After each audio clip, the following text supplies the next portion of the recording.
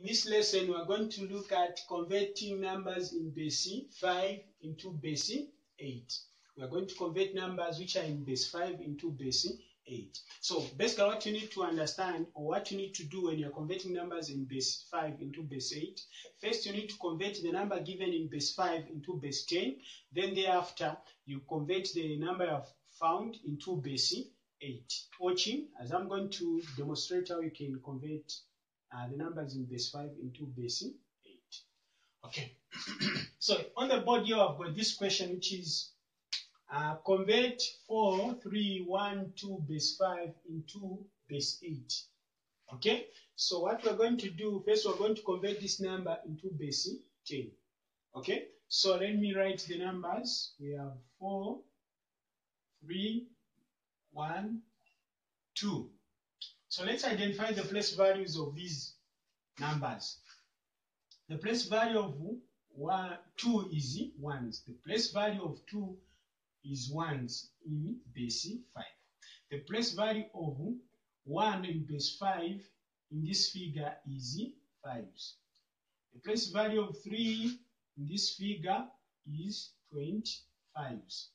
The place value of 4 in this figure is 125. Okay, so now what we're going to do next is we're going to multiply this number by its place value, and this number by its place value, and this number by its place value, and this number by its place value.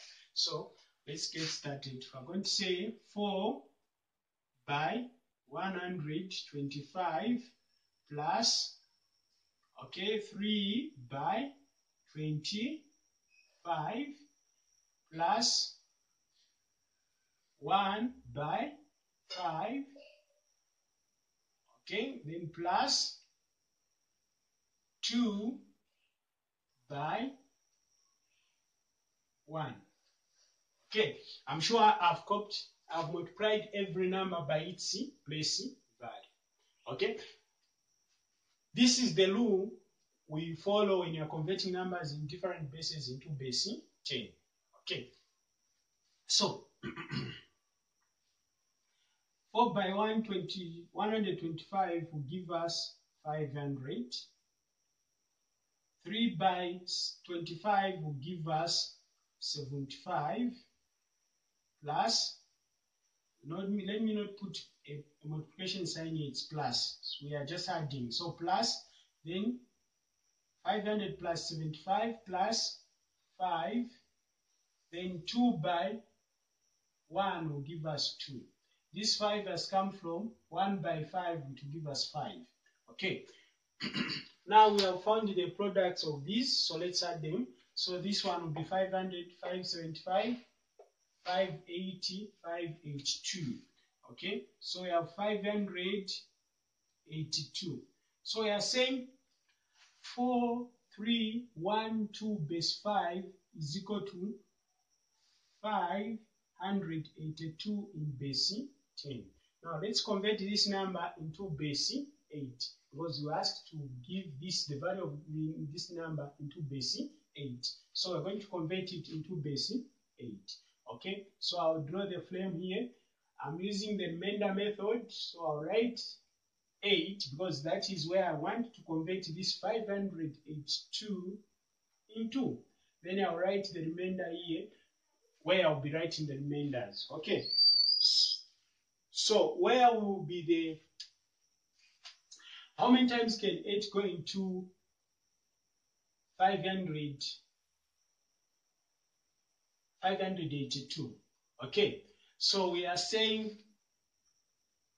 in 580, how many times can it go? So it will go 70 times in 560.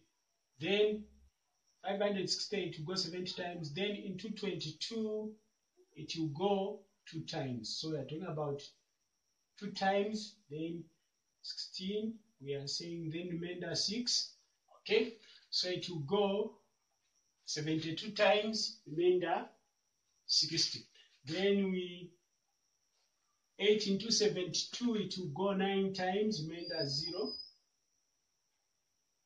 then 8 into 9 it will go 1, remainder 1. Then 8 into 1 it will go 0 times, remainder 1. Okay, then let's write this answer uh, starting from down going upwards. So we say equal to, then we will start with this one down because the answer we're copying starting from down going upwards, then 1, then 0, then 6, base 8. Okay?